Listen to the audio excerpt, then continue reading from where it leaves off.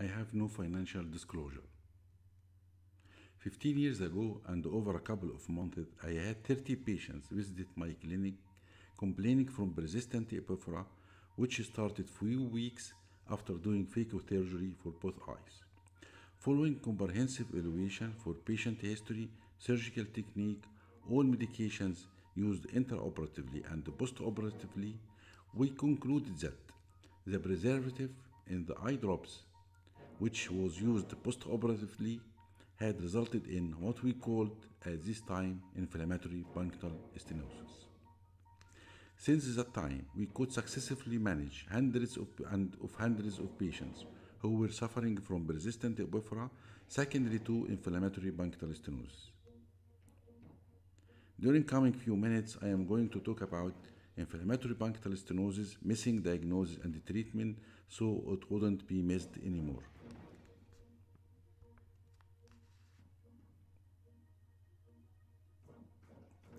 When we look to the image on the left side, we can see the punctal opening had been narrowed by a fibrous tissue. This is why, why we are calling this such stenosis as cicatricial or fibrous, fibrous punctal stenosis. And surgery, and surgery could be an option for management of epiphora in such cases. On the other hand, when we look to image on the right side, we can see punctal opening had been narrowed by congested edematous angry tissue.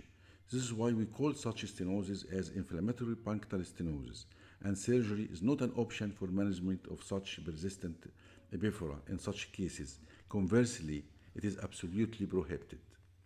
So, if surgery is contraindicated for management of persistent epiphora secondary to inflammatory punctal stenosis, how we could manage it? Let's go and see this patient, one of my patients who was suffering from persistent epiphora for more than five months, as she was giving many topical steroids and non-steroidal anti-allergic eye drops. By her treating physicians, and her condition was getting more worse.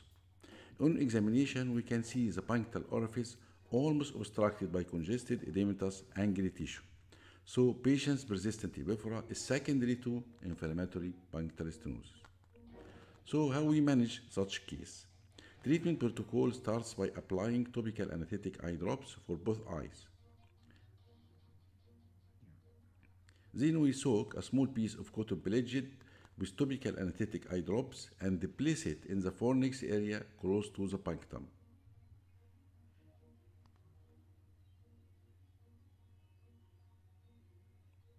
Then we apply topical anesthetic eye drops one more time.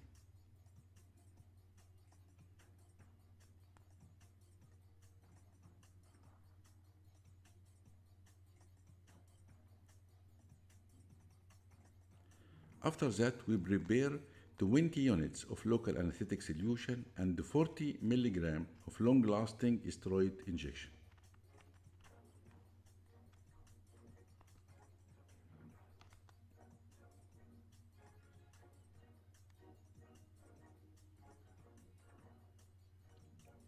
Usually, we wait for 5 minutes before removing the cotton pledget.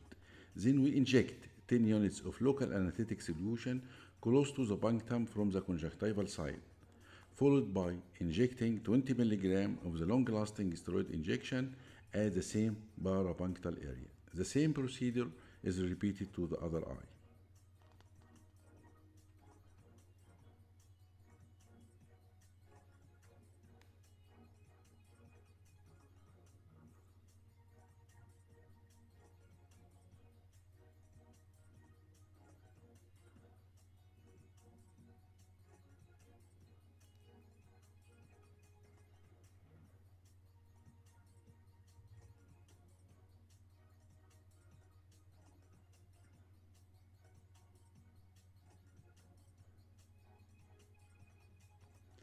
In follow up, there was a clear regression in the degree of congestion, edema, and stenosis of the inflamed punctal orifice.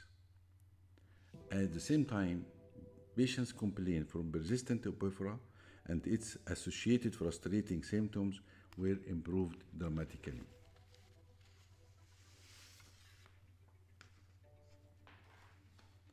Post injection, patients were advised to use only preservative-free topical lubricant eye drops, aiming to wash out any stagnant tears which could aid in the recovery of the inflamed punctal opening.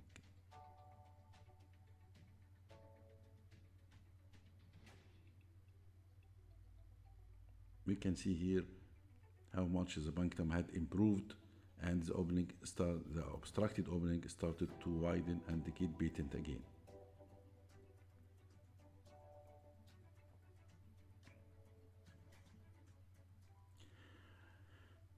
For inflammatory punctal stenosis, stop all topically used eye drops. Don't use any eye drops as they have a preservative which could damage the punctum.